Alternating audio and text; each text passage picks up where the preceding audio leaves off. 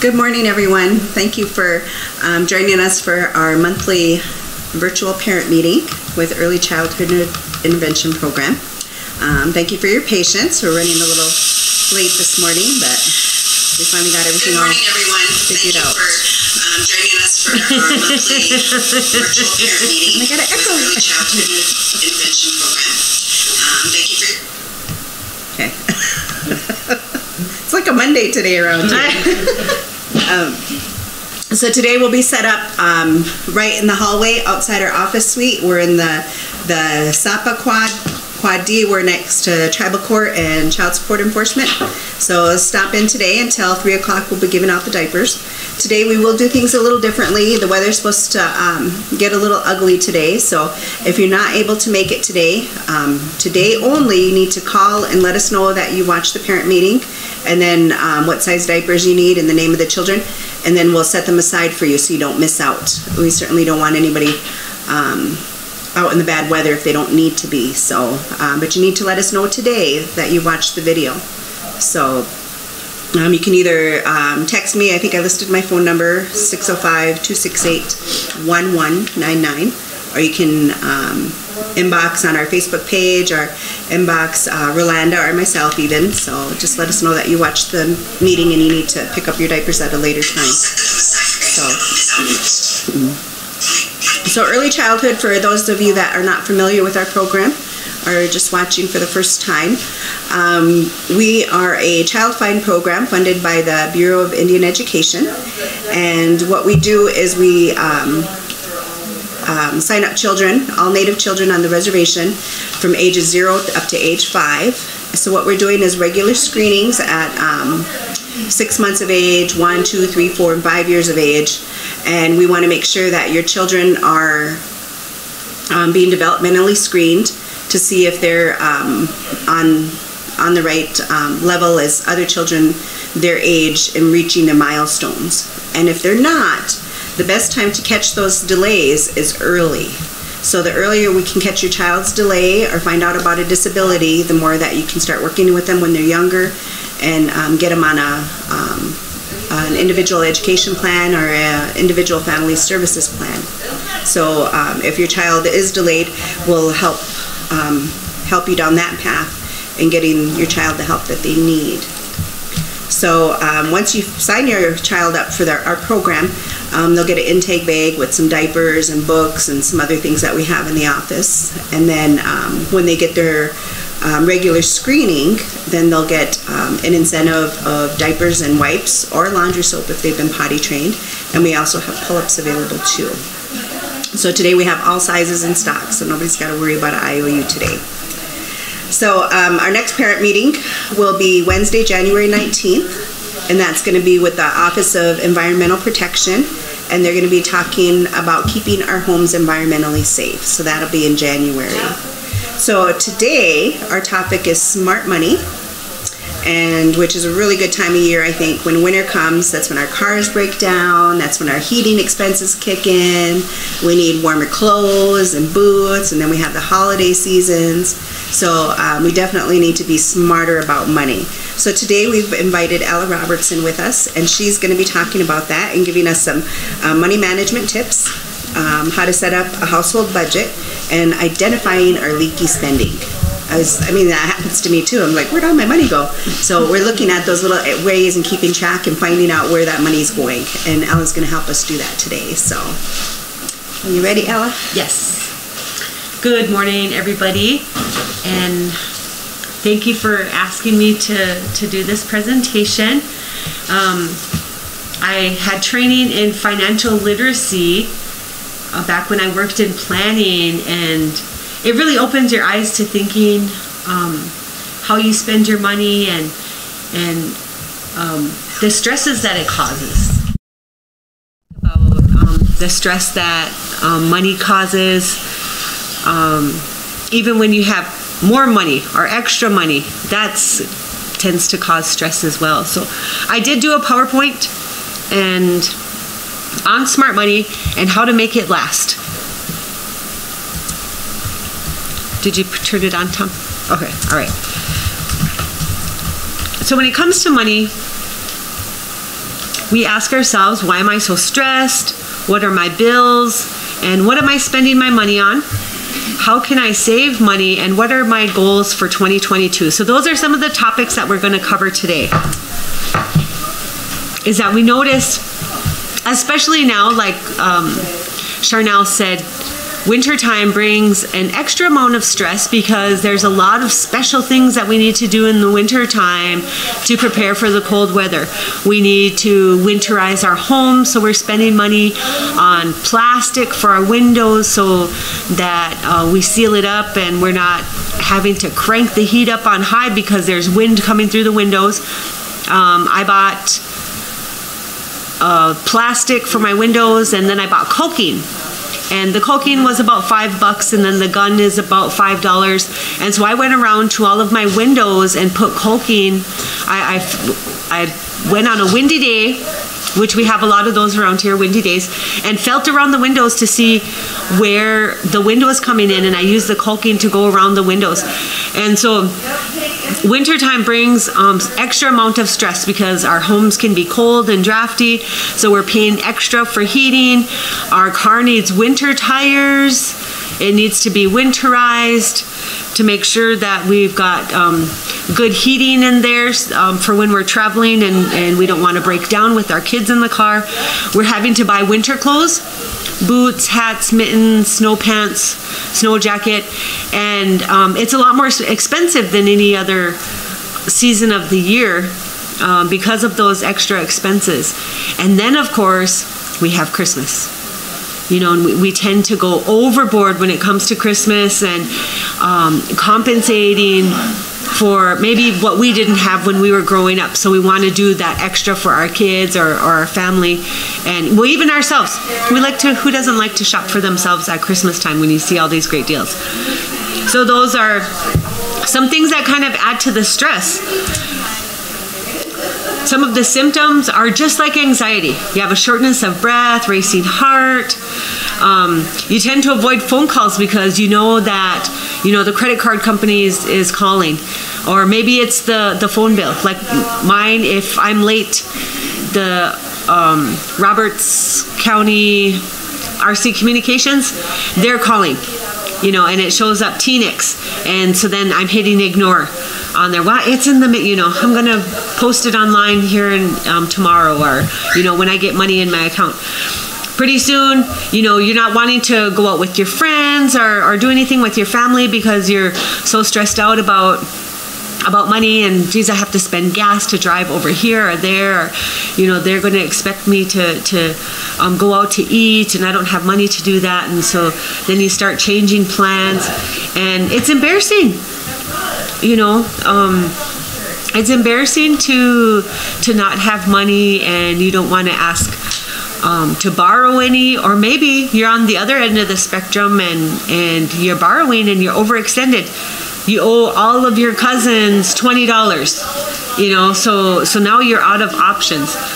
Um, but a lot of times it really does bring um, a feeling of shame because you feel that you're inadequate and unable to provide for your family which you know that's family is important to us. Um, you might feel out of control or that you can't keep up we'd always tease about the vortex you know because then when bill time comes around mine is the 10th I have a whole lot of of bills that that come on the 10th. There's about four or five of them, and they're not small. Like my uh, car insurance comes out. Um, well, my Sam's Club, I have to have Sam's Club. um, my my phone bill, and um, luckily, electric this year. I'm talking to people, and electric has gone down a little bit. You know, last year about this time I was paying $300 in electric. This month it was 194. I'm like, "Oh my god, you know, I about fell over." And you know, so it's um it's those times of the month where, where we're feeling that extra stress because we know that those bills are coming in on that day. So then it makes us, you know, angry or irritable and, and we get annoyed easily and maybe we take it out on our kids or, or our spouses or our family. And, um, you know, I would tease my sister about that because she would get crabby around the same time every month. And I was like, hey, is the electric bill due or what? And, and she'd laugh because I totally knew because um, she lives in a trailer house, so her heating was her heating and cooling was just outrageous, and and we'd laugh about that because she just have a short fuse, and I'm like, hey, the electric bill must be due, you know. And we don't think about that you know? It's something that happens subconsciously in the back of your mind because you're stressed out about it. And so you consistently have those worries and concerns and and kind of a feeling of hopelessness like there's this big old pit that you're never going to be able to get out of. And so you know i'm today i'm hoping that i can provide some help so that we're not feeling all those um, those mixed emotions you know because um, we just want a happy life. Um, we we hope for simpler times, but it's just it's just not like that. You know, money makes the world go round, and so this is how we feel. This is probably how we're look sitting there, you know, looking at, at all of our bills and and God, how am I going to make make it to through the next month? And so let's take a look at our bills. What are they? Um, we have rent, electric, water and sewer, phone, um, daycare. Some of us have daycare. Still, still have babies that need to be taken care of. Phone and internet, and those are the ones that um, come monthly. Those are the ones that um, are consistent. So, are we doing payroll deduction to um, take care of these bills? Maybe some of them um, automatically come out of your bank account. And so then you know that it's coming out and it's going to make you overdrawn. So then that causes stress because oh my gosh, now they're going to charge me $25 fee. I need to hurry up and get, you know, 50 more dollars in there so that it covers that bill. You know, so you have those continuum amounts of stress. Maybe there's so much coming out of your payroll deduction that your paycheck is $5. You know, and and I've, I've heard that when I was working here at the tribe and, you know, um, working with the credit union because I had asked them if they needed me to do classes over there, and they're like, "Oh my gosh, Ella, we we have so many um, patrons that are overextended, and their payroll comes in and it doesn't cover all the deductions that are coming out." And so that's just an example of poor budgeting. And so maybe they just need help to figure out how much money do they have coming in, how much money do they have going out. Um, and um, some people are, are on a prepay or a budget program like fuel inc offers that i know for for propane. Um, i posted about a month ago about the cost of propane has gone up considerably since last year. You know last year i think it was like a dollar six or something like that. And now it's it's way more than that. So a 250 gallon fill up was going to be almost $700 it was like 600 and and some dollars. And who can who can manage that? You know who has an extra $600 laying around that that can pay that to fill their their tank? And so on top of your regular monthly bills then you have your regular expenses. And these ones can fluctuate. They can you know maybe they can be be um, very little. Some months maybe they might be a little more. Um, groceries, gas, cell phone, toiletries like your shampoo, hairspray, lotions, deodorants, those type of things. Um, household items. How often do you buy cleaning stuff for for your home? Toilet paper, dish soap, uh, those types of things. And you know, I imagine that expenses will be a lot less once the dollar store opens in Sisseton, right? Because you can go in there and get 20 items for $20. but that's, those are things that we need to look at. And then we look at what resources do we have? Do I have, if you have a job, how much do you make on your payroll? What if you don't have a job or if you have a job, you can also be doing odd jobs on the side some people bead, so maybe they babysit. Um, you know, my son, he cleans cars as his side job. Um, people do a lot of things for, for, some people do cleaning for odd jobs. Um, do you get SNAP or EBT? What type of, of um, resources, Bennett, or um, program assistance are you getting? WIC, um, energy assistance, TANF or GA? Do you get child support? How much is that a month? Is it consistent where you can actually depend on that? And um, identifying any other resources. And don't be afraid to ask for help. It's hard sometimes to think about how am I going to set up a budget. So let's take a minute. Sit down with your piece of paper, get a piece of paper, and write down those bills. How much do you pay for rent?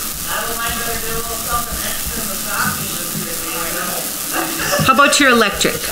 And you might want to wind, um, round it up ten dollars. So, or the to the nearest ten. So if I pay one ninety four this month, then I'm going to say that my electric is two hundred dollars.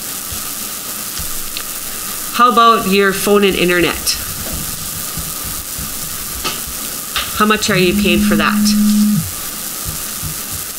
Mine runs about $100.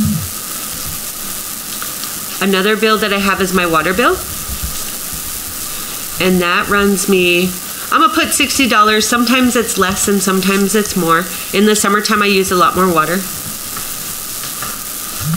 Um,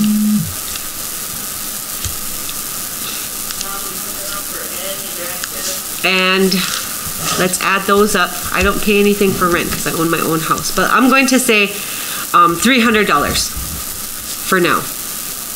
So if I owe $300 for rent, $200 for electric, $100 for phone and internet, and $60 for water, that's $660 that I have to have each month. And so what are my other expenses?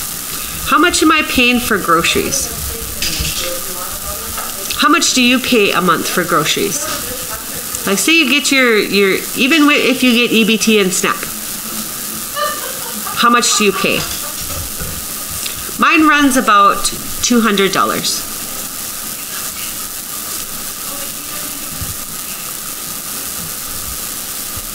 How much do you pay for your cell phone? I have the $45 plan. But I'm going to put $50 to account for taxes and all of that. About gas? How much money are you spending on gas every week? Even if you if you don't have a job, say you need to run your kids to school or or you need to do errands, how much are you spending um, per week? I'm going to put $50 on mine. It costs me $35 to fill up my tank and then I'll have to put in a little bit extra to make it through the week. So I'm gonna put $50 for mine. How about for toiletries? How much are you spending for shampoo and conditioner, hairspray, toothpaste, toothbrush, all of that per month? Mine is about $20. It's not that much um, that I spend. My stuff, my products last a long time. How about household items? How much are you spending on trash bags, paper towels, dish soap, laundry detergent, I'm going to put $50 on mine. Because um, when I do shop, I like to buy the economy size laundry soap um, because it's a little bit cheaper and it lasts longer than buying um, two smaller ones. And I just use the dollar, the one dollar um, dish soap from the dollar store. Um, and I like to use um, Sam's Club because I buy a lot of things in bulk.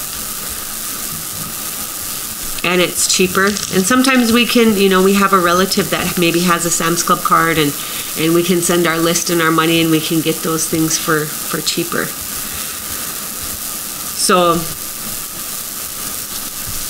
I'm going to add those items up. Two, three, So that's $370 per month. So all total between my expenses and my my regular bills is $1,040. Wow. I don't if you've never um, looked at your expenses and added them up and put them down, sometimes you can be shocked about how much your bills are because in reality, I have a lot of bills that I'm that um, I didn't include, like my car insurance and um, my student loan. Um, you know, maybe I have a loan at the credit union um, revolving loan. Who doesn't have a revolving loan? Everybody who has a revolving loan, raise your hand. you know that's a lot of, a lot of people. And sometimes we're we're maxing out that revolving loan just to pay you know these bills. And then we're paying interest on those bills on top of it. So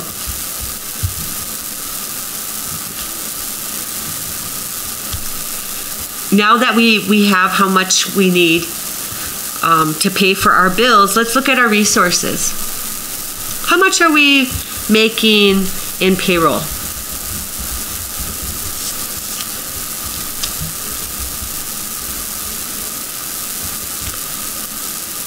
Mine fluctuates. I work from home, so mine is a little bit different.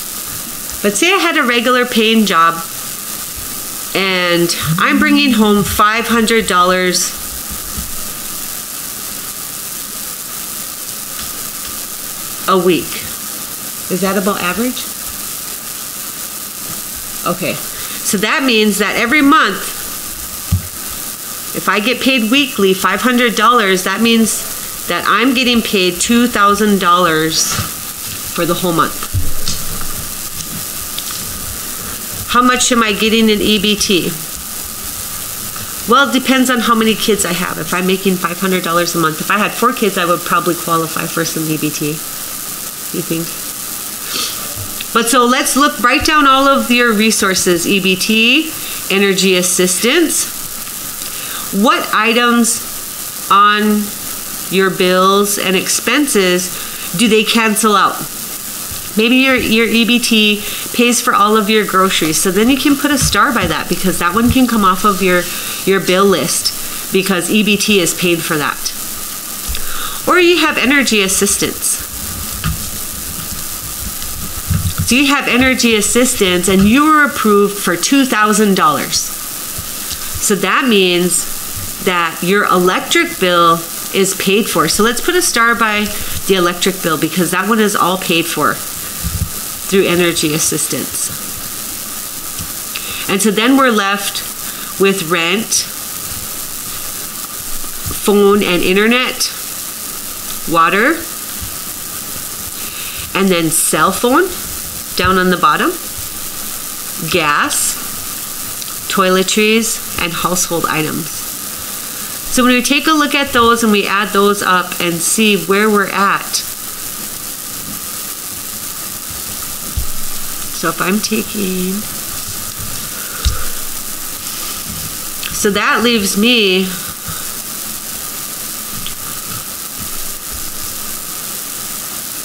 with $640 in bills per month because my EBT is paying for my groceries and my energy assistance is paying for my electric. And so if I have a payroll of $2,000, then I have enough resources to pay for my um, bills and expenses. Awesome. You know, to, to look at it like that. Maybe ha- I have extra um, EBT left over, so then I can buy maybe um, some non essentials, snacks for the kids, and uh, maybe some high end other items. But so the next thing is so then you're looking at this and it's like, well, how come I'm broke every month then? If I have all this extra money, where is it going? And so that's where we start to identify our leaky spending. And leaky spending is what are the extra or unnecessary items that you're buying? What um, extra or unnecessary activities are you doing? And so, what are some of those? Do you have any idea? Three bean. Yes. Okay, so here's extras, and I don't have bean on here, but um, energy drinks are one of them.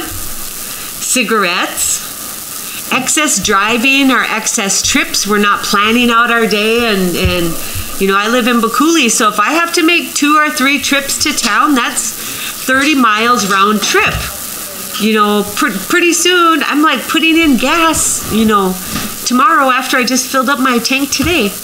Eating out is an extra. And um, maybe extra purchases. We have that extra money, so sometimes we feel like we need to spend it until it's gone. Um, and it's a learned behavior because maybe our parents did that. We saw our parents earn money and then they would be broke all week long right? And they never had any money for for anything throughout the week or two weeks, you know, because back then we got paid every two weeks, sometimes once a month, you know. So you really had to manage your money money well. So let's take a look at one of them real quick, like energy drinks. How much am I spending on energy drinks? And so when we're paying cash for something, three dollars doesn't seem like a big deal, right? Because you're like, oh shoot, I have that, you know, laying around in change.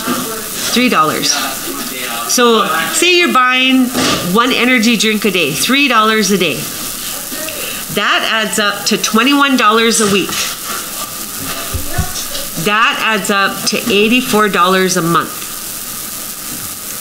If you buy one energy drink per day at $3, that's $1,008 per year that you're spending on one energy drink a day. So imagine if you're doing two.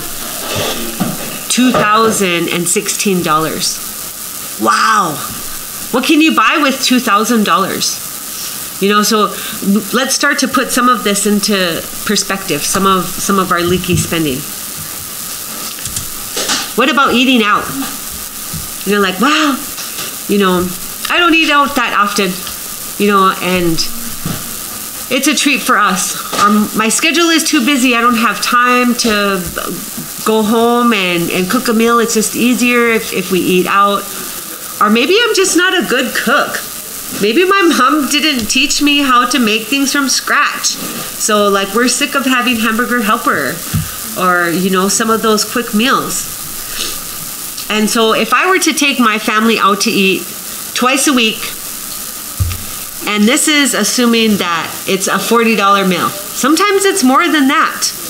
You know, but say we're going to Taco John's. We over there to see Lettuce Let's. And it's $40 every time that we go there. So if we're going there twice a week, then that's $80 a week. That adds up to $720 a month. That totals $8,640 a year. If you're going out to eat two times a week and it's costing you $40 every time. That is a car, people, to go out to eat. And it's it's because of convenience or, or you know, we feel like we don't have enough time. So say you cut it down and you decide, I'm only going to take my family out to eat once a month or once a week. You cut it down to $40 a week. That's $360 a month. That's still $4,320 a year. It's still a lot of money. So, what about you that work?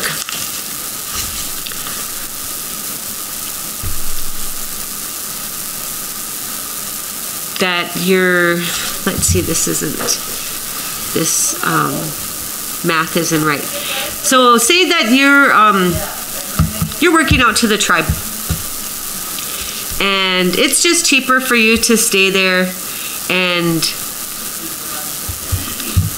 eat at the cafeteria, right? And so you're spending $10 a day on meals You're getting the special. So each week you're spending $50 on meals. Each month you're spending $200 on meals. But of course, we feel it's justified because we're like, well, I'm at work, so this is a work expense. $200 a month, $2,400 a year. That's how much we're spending on eating out for, for work. So let's look at some of these things that we're spending money on. I didn't even go to cigarettes, right? I'm guilty of that just the same as, you know, many people. Is how do we get some of that leaky spending in control? Number one is identifying it. Try, like, for one month, keeping track, a journal, even if it's just a scratch piece of paper. As soon as your um, wallet is coming out or you're spending something, write it down. That's how we keep track of it. Um, maybe you're buying a 12 pack of pop, and um, but you don't get EBT, so you're paying it cash, right? Keep track of it for one whole month. All the things that you're spending your money on, so then you realize where um, some of your unnecessary or extra spending is coming from. That's one way to do it. Right now, holiday season, it makes it really hard. It makes it very difficult because um, our spending gets a little out of control if we celebrate Christmas. Sometimes we overcompensate with our children. Um, maybe because we're not spending as much time with them, or maybe because we grew up poor and so we're wanting to do all that extra stuff, buy those extra things. Um, for them because we we went without as as um, as kids. Um, maybe we're just wanting we're competitive and and we want to keep up with our neighbors or our friends and they got the latest new iphone so i've got to buy the new latest iphone. Holy smokes how much is it? 1000 something? Oh no but i'm on a payment plan so then it doesn't seem as much but do you really need that new phone? I've never been one to splurge on phones. Um, just if it can do what I need it to do, I can download Office on it and um, the different things that I needed to do, then I'm okay with it. It doesn't have to be anything fancy. I kind of, you know, wish that it had an amazing camera you know, like the iPhone does, but it's not like I'm going to be shooting professional videos and posting them. But it's what do you really need to get by? And so that's that's really what it is. Because sometimes I think, holy smokes, you know, when I was working a full time job and making good money, and I see people who didn't have a job and they're running around with a brand new iPhone, it's um, it was shocking to me. And but that happens quite often. And um, So those are the things that, that we want to look at.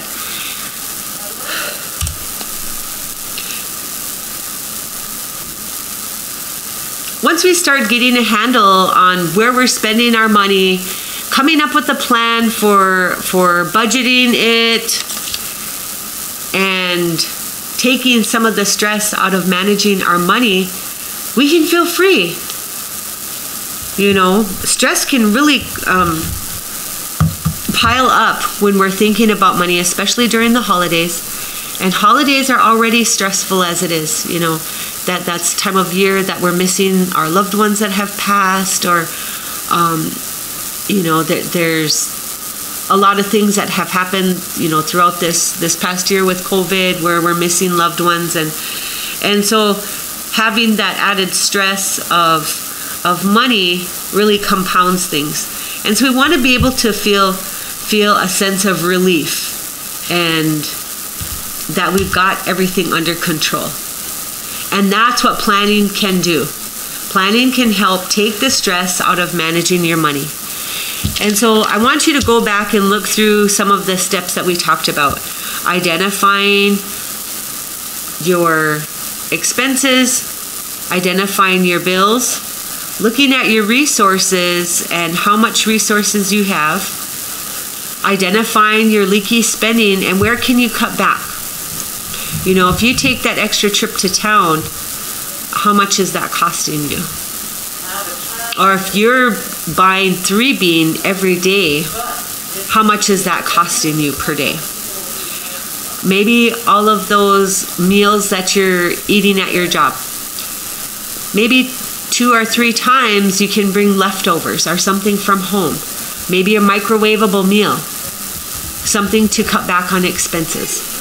And so those are some things that, that I feel would be really helpful and help to alleviate some of that that stress that managing your money um, can take. It takes a toll on us. And so we wanted today to provide, you know, some helpful tips and, and information to our families out there to help them um, have a better way of life.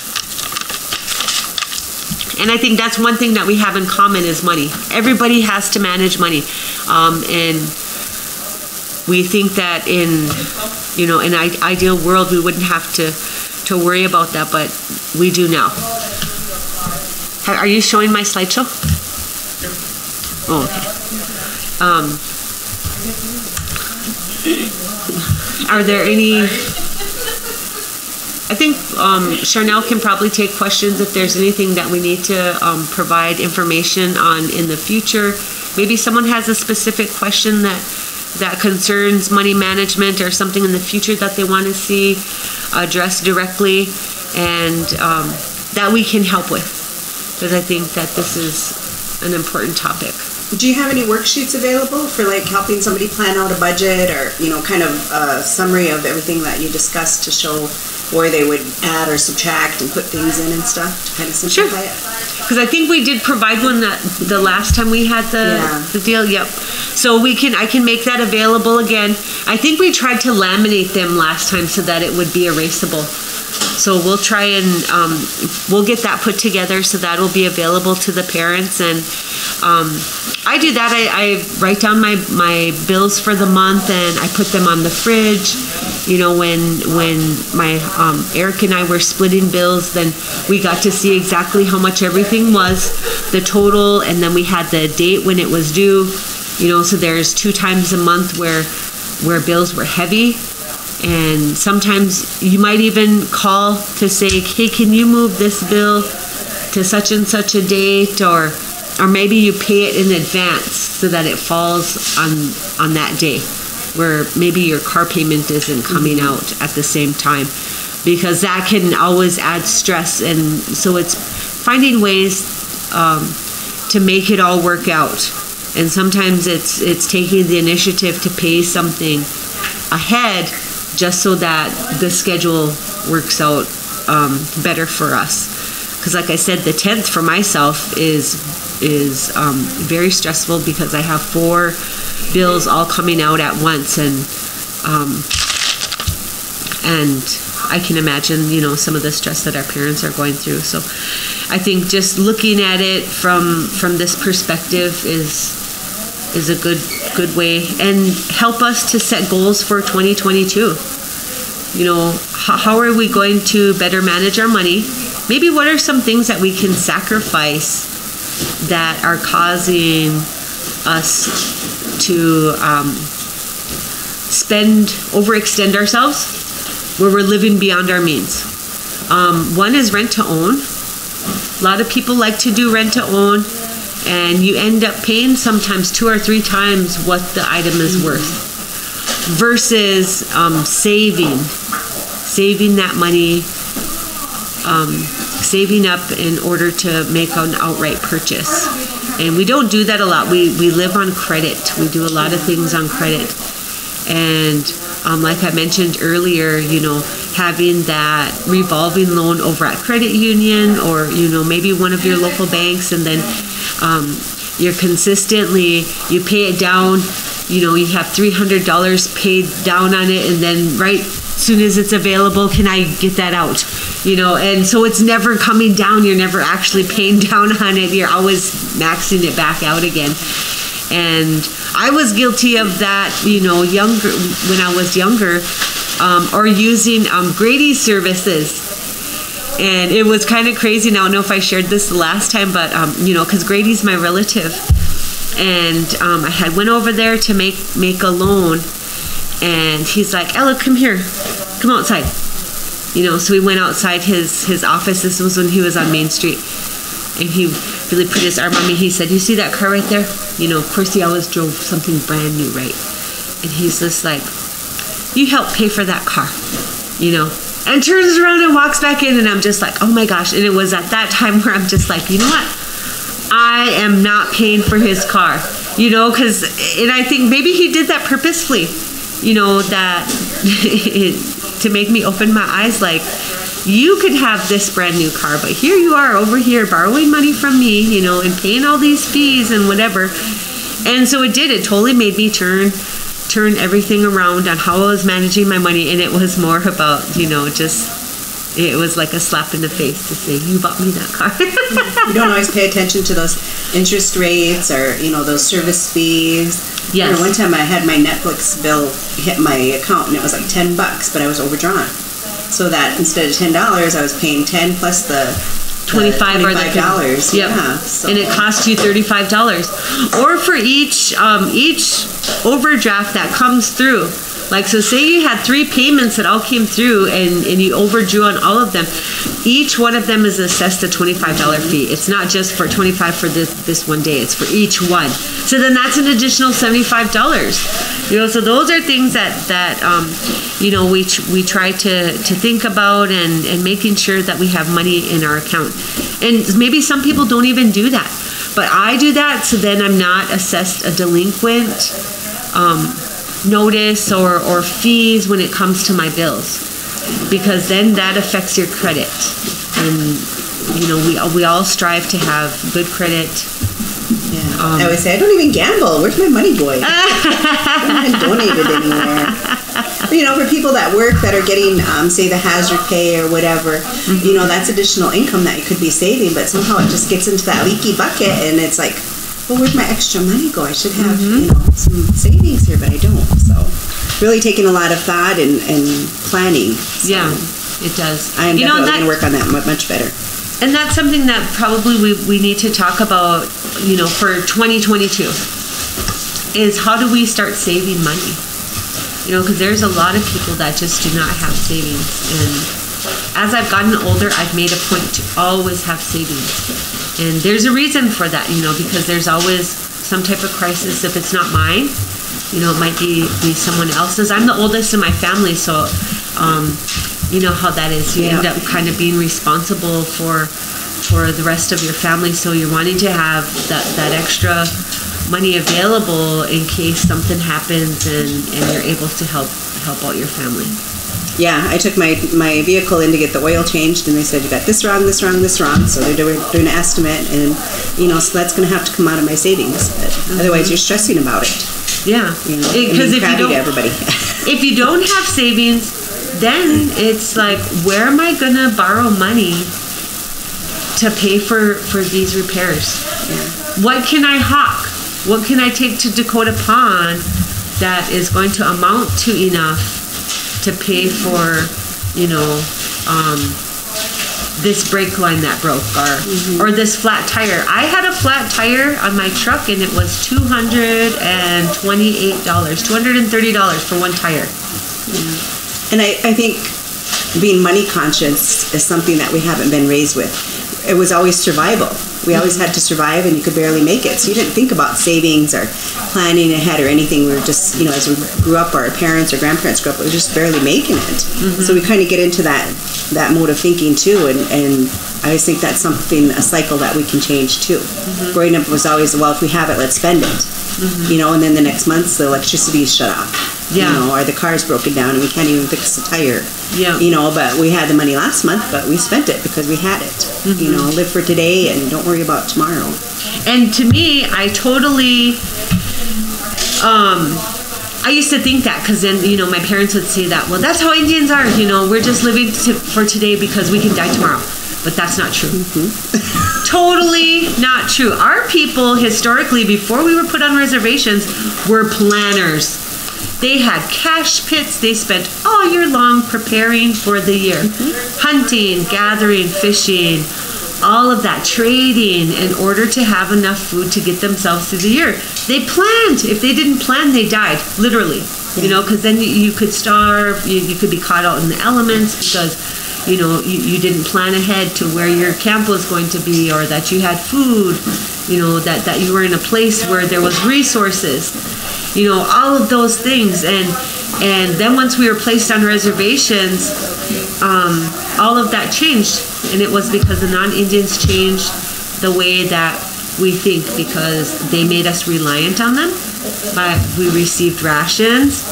And this is how much you're going to get and, and I talk about this in the schools when I'm doing my food presentations about rations because I want them to know how much control the government had over us. That that all of our traditional foods that that um, we gathered, hunted, fished, did all of that. They said no, that's outlawed. Not just um, I don't think you should, just straight out outlawed. You know, wrap your mind around that. How would you like the government to come into your home and tell your parents, you know, put all of that food away because you're going to eat this every month. And only how much we give you you know like that. And and so it really changed um, how we think about things. And we're seeing the impacts today because now here we are still struggling. And how do we get ourselves out of that way of thinking and into a more healthier um, way of thinking well, thank you so much for sharing all your knowledge on, on financial literacy. You know, I think it's something that, you know, hopefully we see it in, with our kids in, in schools to mm-hmm. start thinking about that instead of waiting until they're in their 30s and 40s struggling to still get by. So, right, to be smart about those things. So, thank you. And if you have any questions, um, you can certainly inbox us, or we'll have those forms available at the office, or we can email them, or however we need to get them to you. So, you'll have the tools um, to succeed in, in, managing your finances too. And um, I truly agree with Ella that you know the stress that it can cause, you know, is not only hard on us because we're the ones having to figure it out, but also you know taking it out on our, our children, our spouse, or you know because we're struggling with um, the stress of all of that too. So it will help bring some peace peace of mind to us and to our family too. So um, just a reminder, we'll be here until 3 o'clock giving out diapers. If you're not able to make it, let us know today and we'll set your diapers aside for you. So just let us know through inbox, text, or whatever that um, you watch today and the um, sizes of the diapers that you need or pull-ups and the names of your children that are in our program and we'll make sure we get them set, aside for you. The sun is actually peaked out right now, so it's actually the first nice day I think we've had in a couple days. But um, once again, January 19th will be our next parent meeting, and we'll be live, and we'll probably do it this way too, I think.